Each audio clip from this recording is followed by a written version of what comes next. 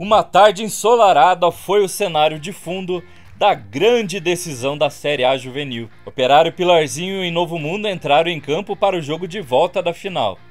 No sábado passado, o tricolor venceu por 1 a 0 e teria a vantagem do empate. Precisando do gol para pelo menos levar a partida para os pênaltis, o Alvirrubro foi para cima logo no início.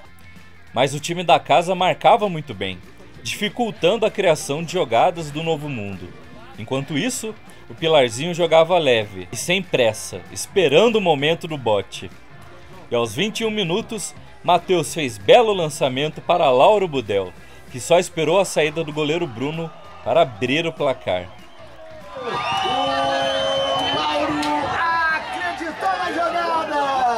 Perna esquerda! A desvantagem aumentou e o Novo Mundo não tinha mais fôlego para reverter a situação na segunda etapa. Restou ao tricolor só esperar o apito final para comemorar um título que veio após muito esforço.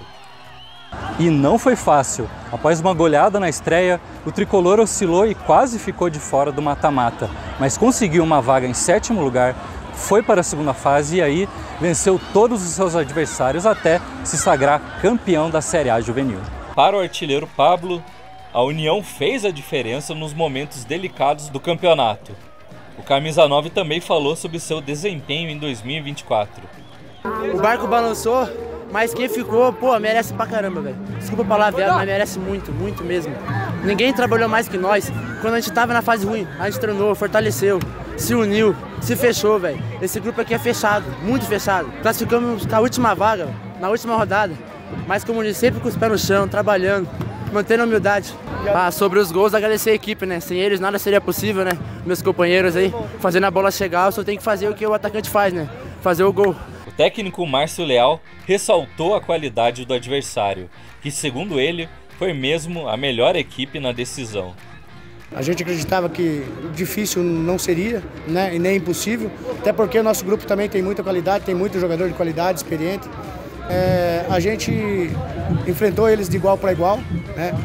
Como eu disse lá, a gente também tem jogadores ali com muita qualidade, muito experiente. Então, assim, para quem vê de fora, é óbvio que para ver de fora, como o Pilarzinho te retirou o Trieste e o Capo Raso, que teoricamente seria o favorito do campeonato. E mas a gente, em momento algum, a gente se assustou porque a gente sabia do nosso potencial e da nossa qualidade também. E a piazada do Pilarzinho mostrou que sim, com garra e determinação, a gente consegue superar qualquer dificuldade. Basta um pouco de paciência que o sucesso vem.